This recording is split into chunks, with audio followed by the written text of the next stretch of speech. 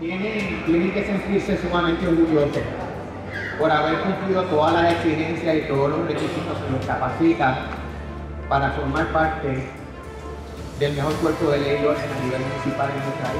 Y quizás lo vemos como, como esta noble gesta, como este noble trabajo de servir a los demás, pero es un trabajo muy riesgoso.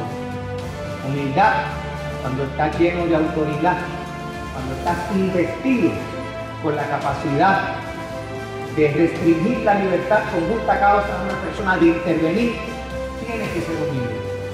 Pero cuando representas la ley, el orden, la autoridad, hay que ser firme.